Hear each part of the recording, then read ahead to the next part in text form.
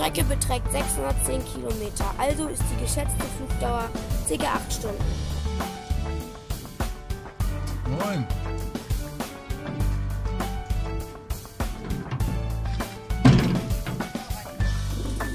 Die Klappensicherungen werden rearretiert. Nun werden die Rollladen runtergelassen und somit der Auflass vorbereitet.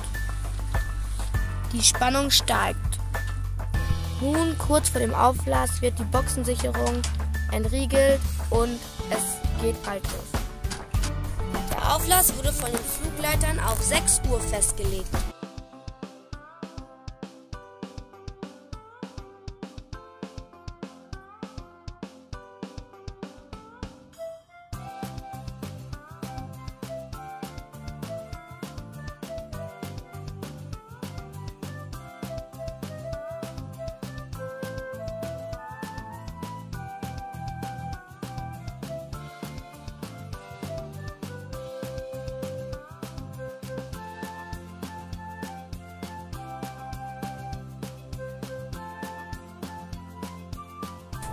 Tauben sind hoch und weg, ab ins westliche Münsterland.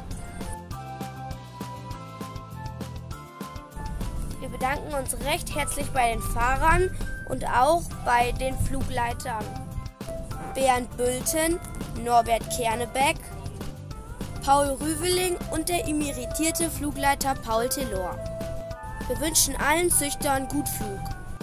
Wir hoffen auf einen guten Flugverlauf und dass wir die Sektkorten heute Abend knallen können.